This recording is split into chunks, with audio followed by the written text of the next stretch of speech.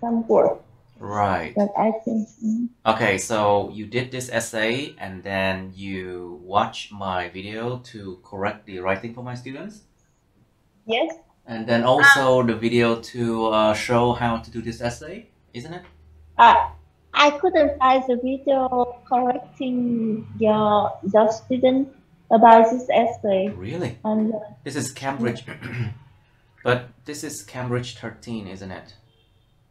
Wait, this, these Yes. are I tried it, but I just couldn't find. interesting.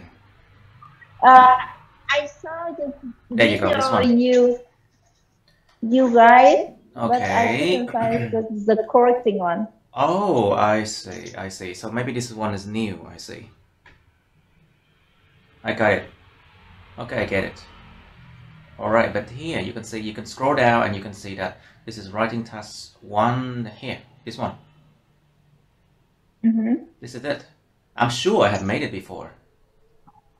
Okay. And so Okay. basically, because uh, writing task two, you can see this class, uh, there was, this class was actually very large. I had to like correct like seven different essays, so that's why it's the two parts, like two different days, you know.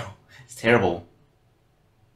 Anyway, I think four students is like perfect number. anyway, so now, all right, so let's do it. Okay guys, so welcome to another video by Johnny and uh, in this video I'll correct the essay for my students, two students left from class IL 35 and 33. Well, I hope this class can be more, but uh, it seems like it's difficult to find more students in the COVID time. So now let's do it. The chart below shows the percentage of household in owned and rented accommodation in England and Wales between 1918 and 2011. Cái ờ, biểu đồ bên dưới này nó show nó chỉ được cái tỷ lệ phần trăm của những hộ gia đình ở những cái gọi là nơi ăn chốn ở được thuê mướn và nơi ăn chốn ở mà được sở hữu ở nước Anh và xứ Wales giữa năm 2018, 1918 và 2011. So basically some people they own their own home, you know, and the other one they have to rent it out from other people. Một số người thì họ sở hữu luôn cái nhà đó, còn một số người thì họ phải đi thuê mướn. and as part one, task one always asks you the same thing. Summarize the information by selecting and reporting the main features and make comparison where relevant. Task one writing luôn không có điều tương tự đó là tóm tắt cái thông tin bằng chuyện lựa chọn và tường thuật những ý chính và phải uh, so sánh những nơi nào mà có liên quan với nhau. Alright, so first thing first, let's read this one. Percentage of household in own, that's one, and rented accommodation in two countries, Wales and England, okay? but they combine together in this graph and they don't separate it. So you can think of England and Wales as like one thing. người ta không có tách rời ra là England với Wales trong cái trong cái biểu đồ này cho nên mình coi như là một luôn đi and then uh, you can see here it just uh, this one it's like the gray one is household and owned accommodation and the black one a dark one it's like household in rented accommodation. And this is percentage of household. This is the year. Đó, các bạn thấy biểu đồ này cái phần thám xám này là cái phần mà những hộ gia đình mà ở những cái nơi được thuê mướn tức là không phải là nơi ở của họ. And uh, the dark one black one here cái phần đen đen này nó là cái gì? Nó là những hộ gia đình mà ở trong những cái nơi mà oh sorry. The gray one is in own accommodation. Cái màu xám là những hội đình mà có nhà luôn, sở hữu luôn. Còn cái màu đen đen này mới là ở thuê. Và chỗ này người ta không có tách biệt ra England và Wales, cho nên là mình có gộp nó lại một luôn cũng được. However, you can see here it's like 1918 to 2011 các bạn đã thấy được những mốc thời gian khác nhau thế này trong quá khứ hết. So, of course, this essay from the overall you have to put everything in past simple tense okay nên đương nhiên các bạn đã cho mốc thời gian như thế này trong quá khứ thì đương nhiên mình sẽ phải viết từ cái phần overall là thì quá khứ đơn hết. But of course, the um, opening, you just have to rephrase the essay title, but the essay title is in present simple. So the opening can be in present simple tense. Should be in present simple tense. Do là cái đề bài á, mình phải viết lại phần opening mà cái đề bài nó ở thể ở thì uh, hiện tại đơn. Cho nên là chúng ta cũng sẽ viết hiện tại đơn ở cái phần mà mở đầu của bài. ok Now, so let's see how Miss One and Mr. Young deals with the essay. So this is Miss One. The scales of owning and renting accommodations. No, it's actually own and rented accommodation. Be careful. Because this is um, the correct adjective for it. Đây là cái tính từ chính xác cho nó nha, phải dùng đúng đúng nha. You need to do the use the right uh, adjective. Be careful. Own and rented accommodation. by English and Wales family from. uh-huh.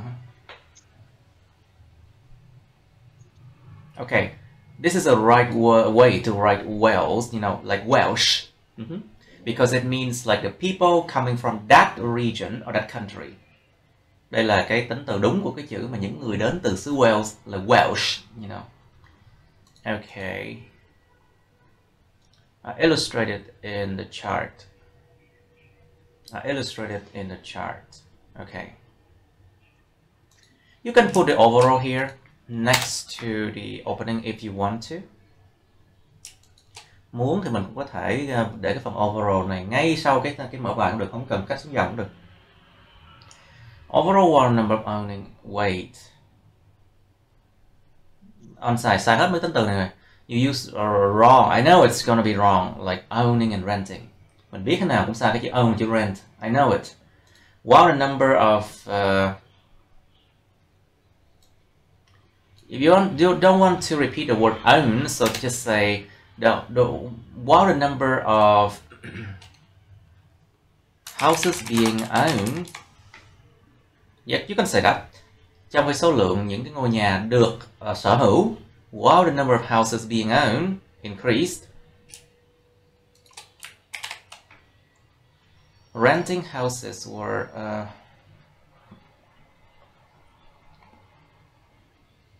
houses for rent. You can say houses for rent. Okay, a decreasing trend, huh?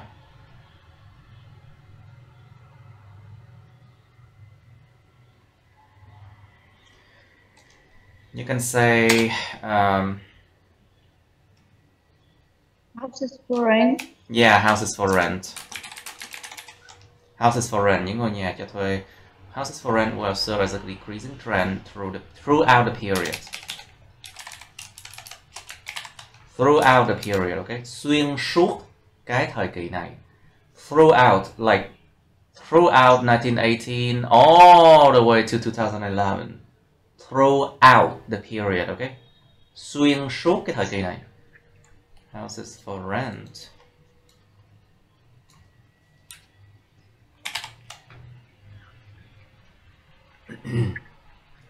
Will observe as a decreasing trend throughout the period.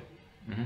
Đã được ờ, coi như đã được xem xét như được nhìn thấy như là một cái xu hướng giảm xuyên suốt cái thời kỳ này. Okay.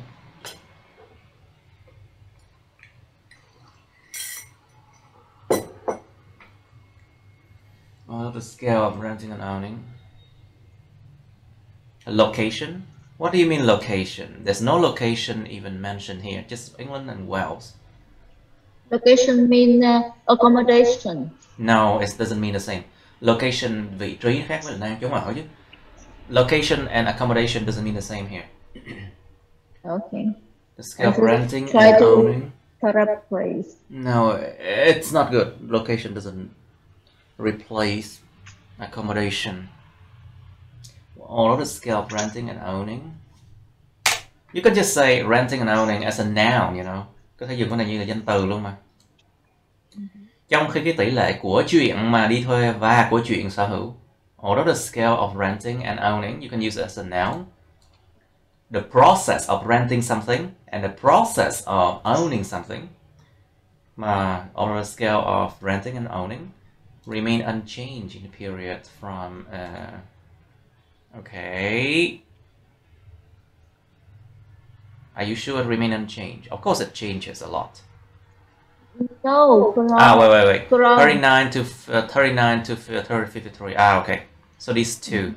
Okay hai cái cột này in general what's that? There was a steady uptrend. Đã có một cái xu hướng đi lên. There was a steady uptrend một xu hướng đi lên uh, uh, chậm rãi và rất là đều đặn. There was a steady uptrend of families owning houses.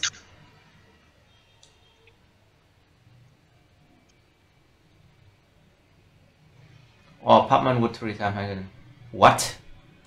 Không hiểu. I don't understand this one. Mặc dù hai cái năm đấy là không đổi nhưng mà nhìn chung cả cả cái giai đoạn thì à, tăng tăng vững chắc cho thầy what do you đổi mean ba lần tăng tăng mặc dù là trong hai cái năm đấy là không đổi nhưng mà nhìn chung cả cái giai đoạn là là vẫn tăng đều Uptrend families owning houses. Oh, apartment. Ah, I understand now. With three times higher from 22%. Okay, to 69%. 2001, okay.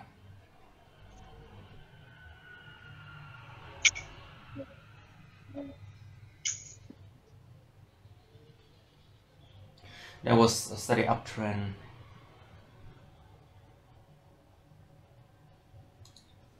Okay comma here because it separates the idea so uh, it doesn't confuses people. Thêm có dấu phẩy để nó tách cái cái ý ra cho nó đỡ làm cho người ta bị um, rối. With three times higher from uh, uh-huh. Okay. Contrast, we don't say contrastly, we say contrastingly.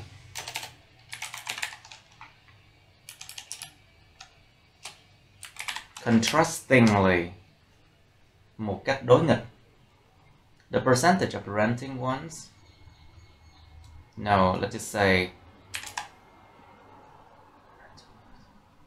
the percentage of rented ones phải là phần trăm của những cái được thuê fell from okay nó rơi từ 78% đến 31% trong cùng thời kỳ đó Okay. Okay, so you show a contra contrast. Okay, good.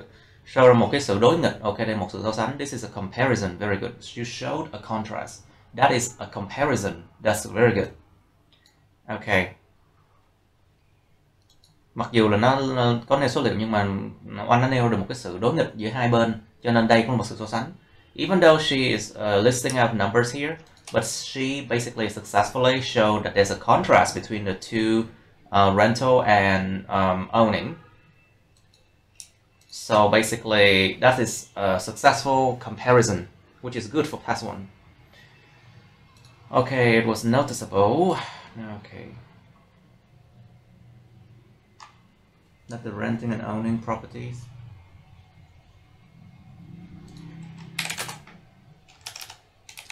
It was noticeable that the renting and owning of properties nó đã được rất là được uh, dễ dàng nhận ra nhận ra được rằng cái sự thuê và cái sự mà sở hữu của những tài sản the renting and owning of properties reach the same number. The same là một từ rất là kém. Basically the same is a very low band score uh, word. Let's use similar. Reach a sim a similar number. Đạt được một con số giống như vậy một con số giống như vậy. Reach a similar number.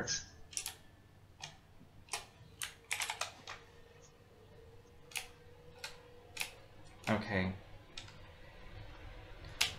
And uh, okay okay so here's 50 50 they are equal So obviously this is a very important point to say.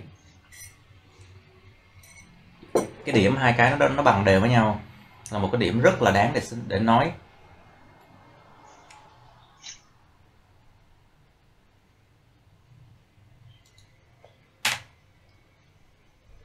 Because when it's reached a similar number, well, people can understand that okay, it's 50 already, but you can still make it clear that it's at 50%, you know. So this one is extra information. Nếu mà mình nói là cái uh, con số mà của chuyện thuê mà mướn nó bằng nhau, tức là con người ta có hiểu được là 50%, 50%. Tại vì không thuê thì chỉ có mướn thôi. Nhưng mà cái con số này người ta nêu ra một cái là một cái thông tin phụ thêm để mà confirm xác định là là mình nghĩ đúng hay sai thôi. Cho nên chỗ này thêm dấu phẩy để mà giống như làm cho nó trở thành một cái gì đó mà uh, gọi là phụ thêm thôi. So this is only extra information, you know, because if people don't own, they will they will rent. So of course it's um, a 50-50. People will understand it immediately. But if you want to make it clear, you can still put this part to make things clear. But this is only extra information. So that's why you need this comma. Okay. Lifted. What? When people lifted, what do you mean? Miss One, what do you mean lift it? um, thay đổi xu hướng á thầy tại vì cái cái giai đoạn cuối cùng nó có giảm thầy So the Khi mà còn trend has uh, so so basically the Um, trend has reversed. You mean shift shifted? Ah, uh, I just refuse re- confused I was just confused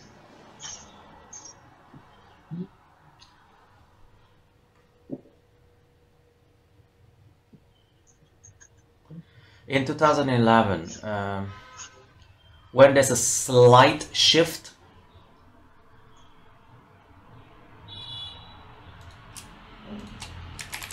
When there was a slight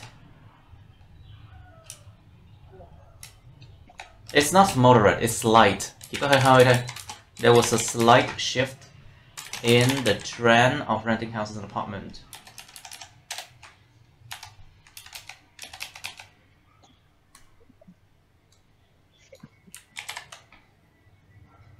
There was a slight fall in the number of houses or apartment which people pay to own.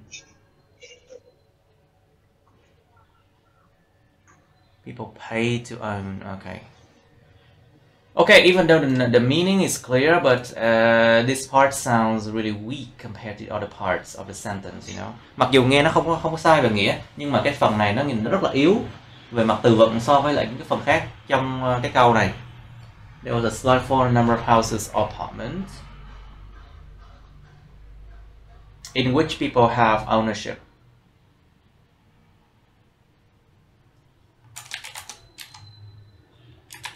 In which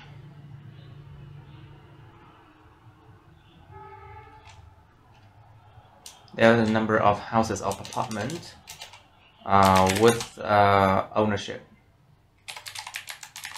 You want to say that? Đã có một sự giảm nhẹ trong cái số lượng nhà cửa và căn hộ với sự sở hữu. Tức là đương nhiên là có người ta sở hữu nó. There was a slight fall in the number of houses or apartment with ownership. Okay.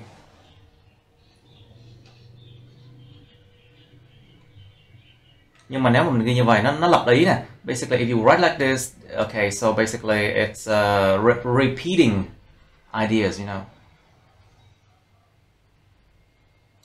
So let's just eliminate this one. Bỏ. Nó lặp ý mà. Because it repeats ideas, so okay. Don't write obviously, ok Đừng có ghi là quá dễ dàng nhìn thấy. Nếu mà nó dễ dàng nhìn thấy thì mình viết cái bài essay này làm cái gì? Người ta dễ nhìn thấy quá, người ta cần gì mình viết essay mình phân tích. Don't write obviously because if it's obvious, then why do you need to write this essay? For people to see, to analyze for people. Don't write obviously because nothing is obvious. Nothing is really obvious here.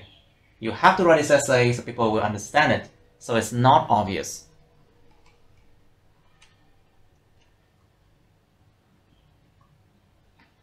Let's just say it seems that nghe nó cẩn thận hơn rất nhiều. It sounds much more careful if you say it seems that it appears that you know. But here should be in past tense. As well.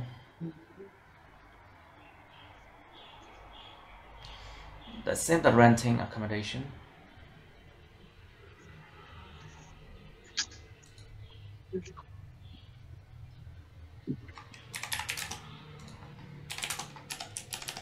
It seems that the renting of accommodation, có vẻ dường như rằng cái việc mà thuê những cái căn hộ, it seems that the renting of accommodation, so it means like the act of renting accommodation, nó có nghĩa là cái hành vi mà đi thuê nhà, nó trở thành một cái lựa chọn mà ít được người ta biết tới, ít người ta sử dụng hơn. Became a less popular choice compared to Aha. Method location people pay their own money. Này này kém hơn nè cái này kém hơn nè this part sounds way worse compared to the other part of the of the uh, sentence. Okay. People pay their own money. Nó nghe kém lắm luôn á. So với lại những cái phần khác trong cái câu này tại vì nó không có văn nói. Nó văn viết quá. Nó không có văn viết quá. Nó văn nói quá. Compared to the location?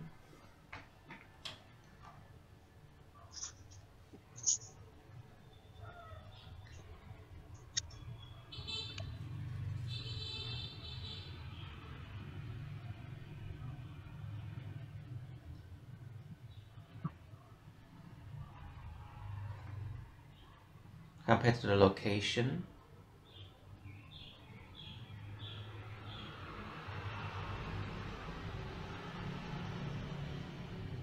people pay their own money. You can say that uh,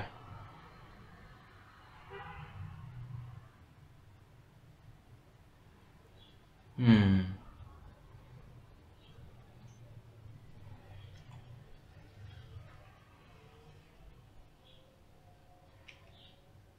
Compared to the location where where a large uh, where a large financial investment uh, was uh, was made.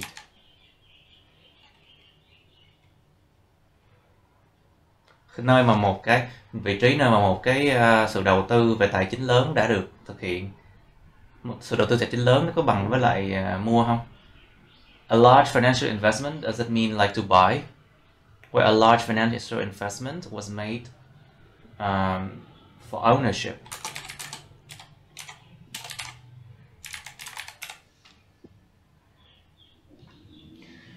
Where a large financial investment was made for ownership to settle in over the period in England. To settle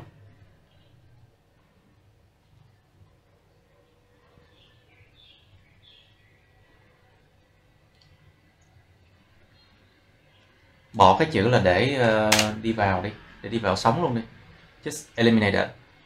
Okay let's popular choice come to location.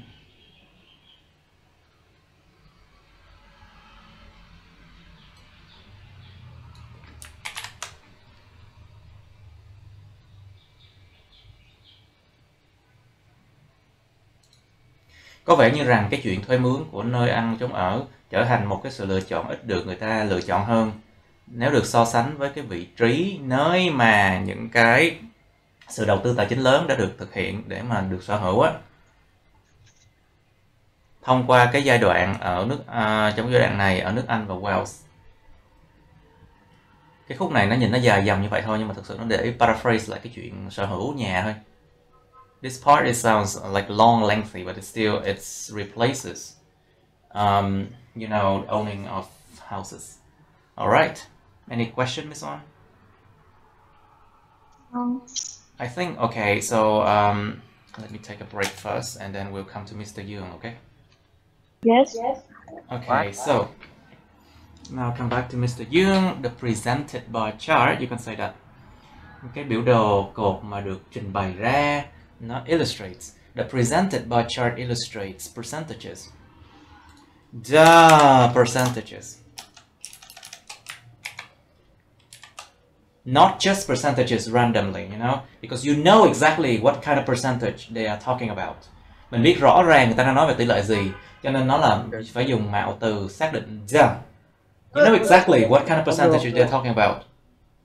So you must use the indefinite article the in here okay? Okay. Owned and rented owned and rented English and Wales accommodation. Need to have a comma here. Just to make things clear, you know. Giữa hai tính từ. Giữa hai dạng tính từ khác nhau. Like between the two different types of adjective, maybe uh, you should have a comma here.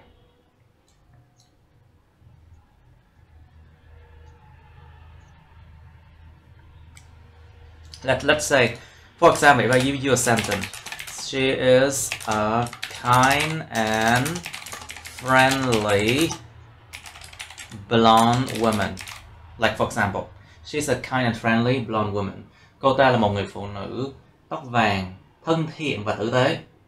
So basically, kind and friendly describe her character. It's one type, so it's with an N in between, you know. Yeah. But blonde, it's um, describe her physical appearance. Physical appearance. So it's a different kind of adjective. You need to have comma in between, you know. Tại vì cái chữ tử tế và thân thiện, kind of friendly nó cùng một dạng, cho nên mình nên có chữ and ở giữa. Và đối với chữ blonde nó là nó miêu tả cái dạng, nó miêu tả cái uh, thể hình, nó miêu tả cái hình dạng bên ngoài của cổ, cho nên nó là một cái dạng tính từ khác. Nó nên có dấu phẩy ở giữa, you know. So the same logic can be applied here. Own and rented, comma, English and Wales accommodation, you know. See? Okay. Own and rented English and Wales accommodation from 1918 to 2011 overall. Showing. Actually, there's like two opposing trend. Owning and renting show opposite trends with a sharp increase in ownership and a reciprocal decline. Oh, very good. Và một cái sự giảm mà theo kiểu mà uh, nghịch đối, kiểu kiểu mà đảo nghịch á, reciprocal like um, um, nó giống như là nó bù trừ lại. Reciprocal means like it's um, compensating for the other things, like one thing increasing, one thing decreasing, compensating for each other. Giống như là nghịch đảo một phần à, giống như là x xong rồi một phần x nghịch đảo lại. A reciprocal decline and decline in the percentage of.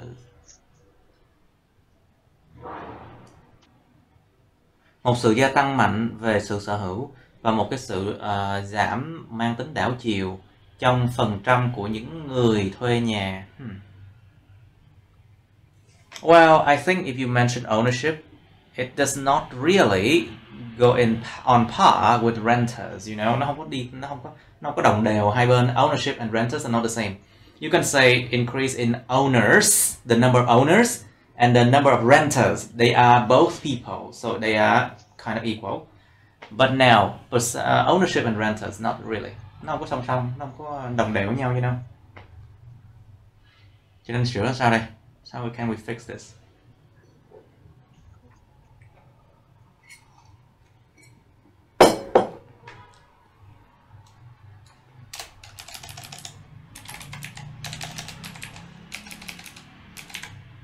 A sharp increase in home owners.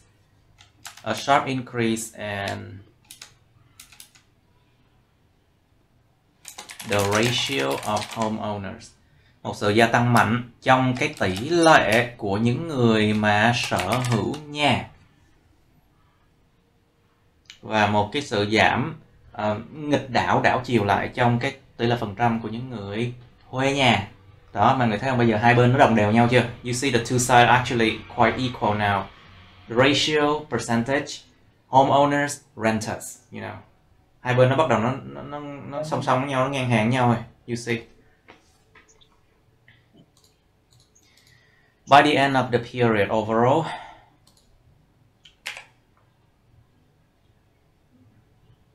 cho đến cuối của thời kỳ này nhìn chung by the end of the period overall ownership had overtaken renting by a wide margin. Very good by a wide margin.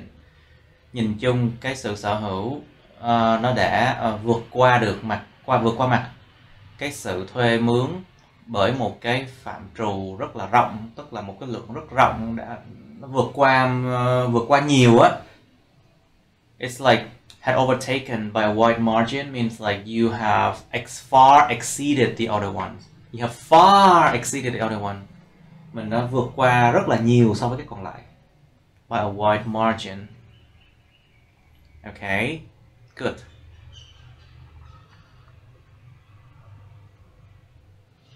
Okay but the overall part sounds a bit uh, too long but I'm okay with that Oh, không sao hết in 1914 house ownership stood at around we don't say around, we say approximately or roughly, you know. Dùng văn phong trịnh trọng hơn nha. Use more formal words, okay? Vào năm 1918, sự sở hữu nhà nó đứng lại ở cái gần 23%. Nếu được so sánh, nếu được so sánh với những cái chỗ mà được thuê if compared to rentals. which were at nearly 80%. So this one give extra information about wait this relative clause give extra information about the word rental isn't it Yes. so you should not have this uh, comma here mình để quan hệ xác định để cho thông tin uh, trực tiếp về cái danh từ trước đó mà đâu đâu có được dấu phẩy ra đâu so the comma here is absolutely should not be there you know should not even be there compared to rentals which were at nearly 80%. Trên cái dấu phẩy này phải bỏ đi nha. Tại vì đây là mệnh đề quan hệ xác định để cho ý nghĩa nó bổ nghĩa cho ngay cái chữ rental ngay trước cạnh nó luôn. Chứ không phải là nó nói nguyên một cái ý gì đó đằng trước.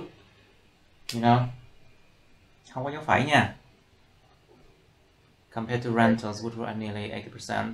From that point, comma, từ cái điểm đó, từ cái chỗ đó trở về sau There was a steady rise in ownership. Đã có một cái sự gia tăng chậm chậm từ từ đều đặn. Uh-huh. And a steady rise and you have to say a decline, you know. Một sự gia tăng chậm thì chỗ này phải có một sự giảm từ từ, right? If you have a steady rise, of course, uh, you have to say a um, gradual decline.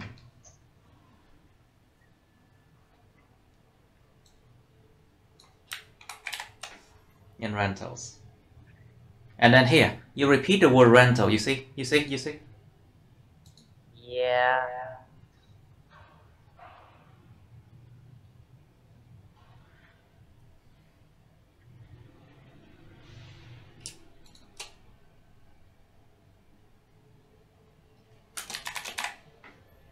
Basically, here you're talking all about rental. So I uh, put it in a relative clause here. in a uh, definite relative clause here to give information about the word rental. Nguyên cái đống này nói về chữ rental cho nên mình dùng một cái mệnh đề quan hệ xác định đây không có dấu phẩy. Reach. Uh -huh.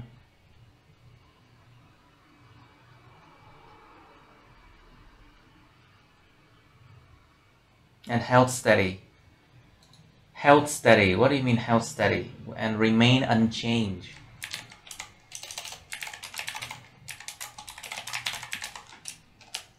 và nó vẫn còn không đổi cho đến năm 53 before falling to okay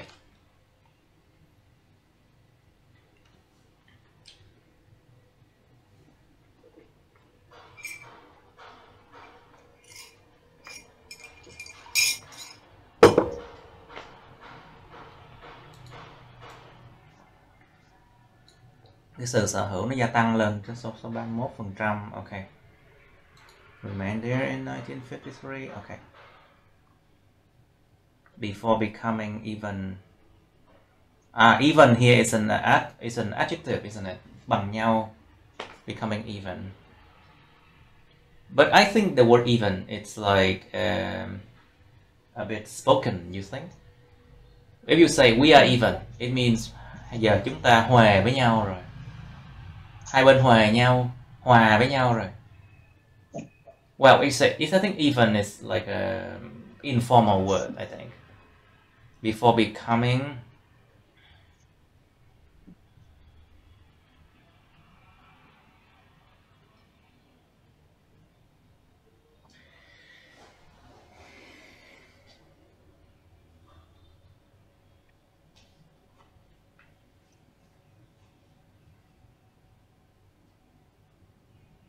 Okay, fine. I'll keep the word even then.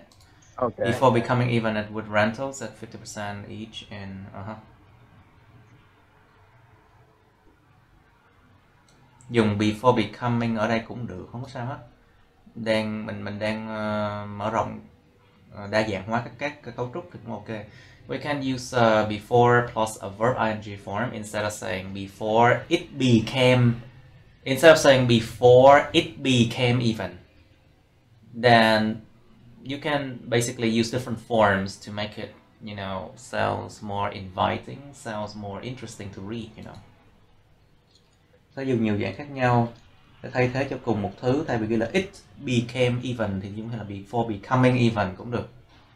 Nó đa dạng hóa các dạng mình sử dụng thì nó nghe nó nó, nó sẽ um, hấp dẫn hơn để người đọc đọc ta hiểu với lại người ta sẽ cảm thấy hấp dẫn hơn.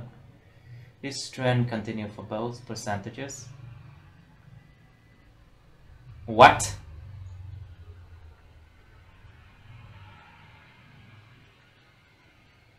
Cái xu hướng này nó nó, nó tiếp tiếp diễn với cả hai loại hình này mới đúng chứ.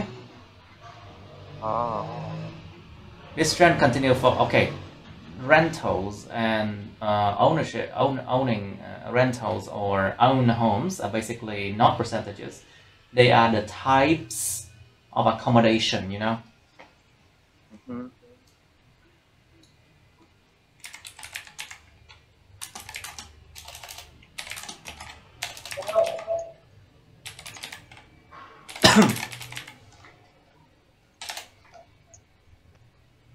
Hai loại hình mà nơi ăn chốn ở.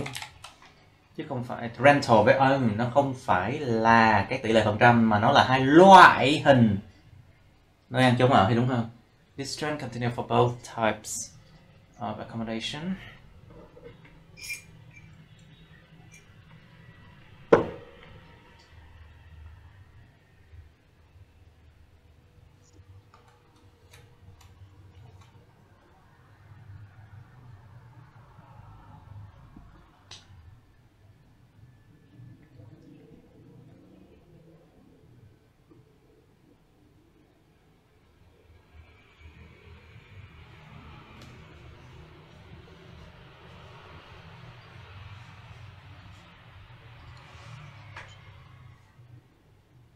Okay. Okay, respectively, okay. I'll, okay, I'll, I'll assume these numbers are correct, okay? Thế coi như mấy con số này là đúng nha, không chắc nha. Okay. Likewise cũng giống như vậy. Likewise, or you can say similarly, yes. Ownership rose to uh, uh-huh, in the same years. The falling rate of rentals, cái tỷ lệ mà cái cái cái cái tỷ trọng, tỷ lệ mà rơi xuống của cái ờ, thuê mướn á. Slacken, what do you mean slacken? Slack, slacken, basically this one is like weird. I have never seen this word before. Let's see now. Trở nên lỏng lẻo hơn ha. Slacken, isn't it? Become loosen become slower or less active?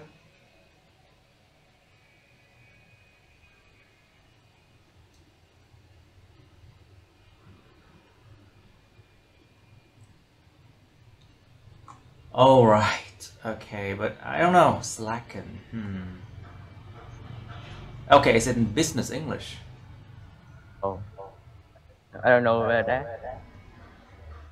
I'm just randomly. Làm chậm lại to slow her down, you know, to let strong slow her down. Uh-huh. The falling rate up there to slacken to Okay, it's weird. I know it's this this is something new now. How do you find this word? How do you find this, this word? I read a, a Elon Musk book There you go. You read more books, you write better. You see? Phải đọc sách nhiều hơn, đọc sách tiếng Anh nhiều hơn mới viết tốt hơn được. You see? yeah.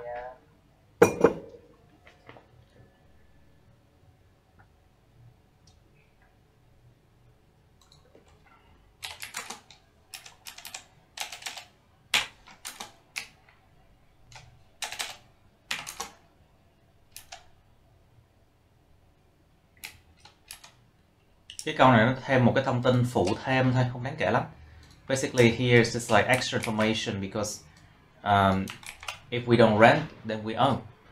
So basically this information is only like, you know, extra. So that's why I put it in comma, comma there, you know. Mình đặt hai dấu phẩy đó tại vì cái khúc này nó là cái khúc mà nó thông tin phụ thêm thôi. Người ta không thuê thì ta mướn, người ta không thuê thì người ta người ta sẽ sở hữu thôi. Cho nên là con số này 031 thì nó cũng sẽ 69% cho ownership thôi. Thông tin phụ thêm thôi. Đặt giữa hai dấu phẩy. Small rebound. Một cái sự mà rebound like một cái sự mà nó bật trở lại. That was a small rebound that bucked the trend. Oh, to buck the trend. Wow. The verb to buck the trend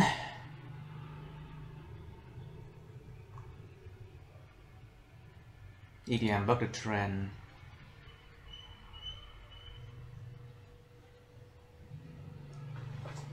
This company is only going to have bucked the trend of a declining industry. Wow. Financial matter, uh-huh. một cái gì nó nó nó khác biệt với những cái cách mà một cái tình huống nó đang diễn ra một cách nhìn chung chung tức là một cái gì đó mà nó uh, nó ra ngoài xu hướng buck the trend means like something that is out of the trend uh-huh. it's an idiom. Hmm. You should not use idiom you know because 95% of idioms are informal. So Oh. remember that? 95% of idioms are informal so should not be used in IELTS writing you know. Okay. nhớ nha tránh. Nên tránh. Sử dụng idioms trong writing và uh, speaking tại vì 99 95% à, nó là không trịnh trọng rồi cho nên writing không nên sử dụng idioms idioms. Speaking thì hãy sử dụng nhưng mà phải dùng đúng nha dùng sai trừ điểm đáng chịu. In speaking you can use idioms because speaking is I kind of like informal in, in a way you know. But if you use it fine good for your grades. But if you use it wrong minus your score okay? You have a minus in your score. Um,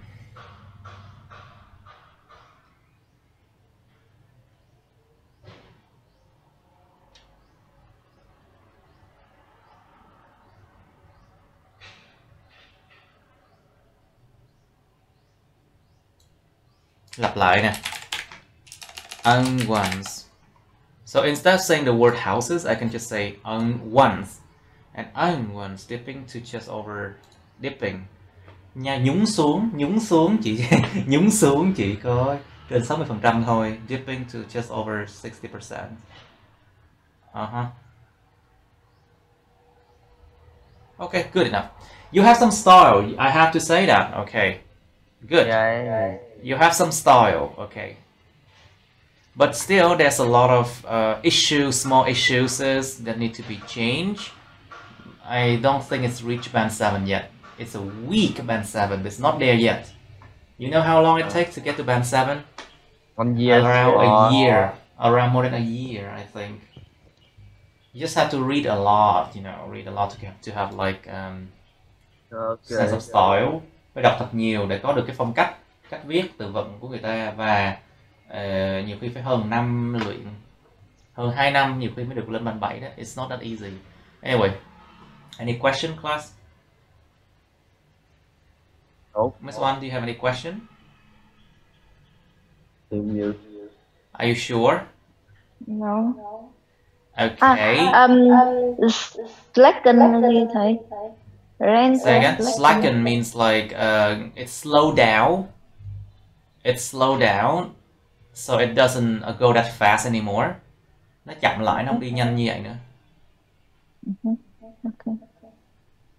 Okay. Okay, let, let's just uh, end the video here. Okay, that's the end of my videos. Please like, share this video with your friends, subscribe to my YouTube channel, and press on the bell button next to the subscribe button so you can get notified about my new uploads, okay? You can also follow, press follow my Facebook, but please don't add me on Facebook as friends, okay? Cảm ơn các bạn đã theo dõi nha. Các bạn hãy nhấn vào like, chia sẻ video này bạn bè các bạn. Nhấn vào nút đăng ký kênh youtube mình và nút cái chuông kế bên cạnh để đăng ký kênh á để mà các bạn sẽ được thông báo về những video mới nha. Các bạn cũng có thể nhấn vào nút theo dõi facebook mình nhưng nhớ đừng kết bạn facebook mình nha. Thank you and see you. Bye.